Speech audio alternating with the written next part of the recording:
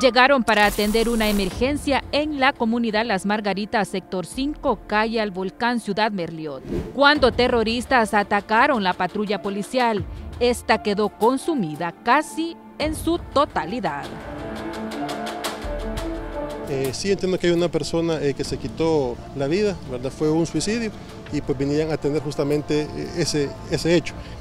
Y en el momento que ellos estaban ingresando para auxiliar y para verificar la información, la, la unidad policial eh, fue incendiada con sustancias inflamables. Por fortuna no hubo policías lesionados. Tras el hecho llegaron unidades especiales. La unidad de mantenimiento del orden fue una de ellas. Hubo un rastreo total en la zona. ¿Y qué es lo que vamos a hacer? Bueno, vamos a catear todas estas casas.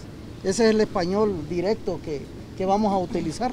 Vamos a catear y vamos a dar con el paradero de los hechores. Este hecho se suma al registrado el 14 de junio en Apopa. Una delegación policial fue atacada y destruida por terroristas. Es la reacción que están teniendo al plan control territorial, ¿verdad?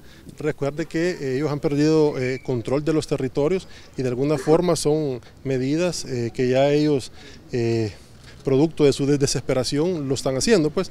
Para Tele 2, Linda Rivera.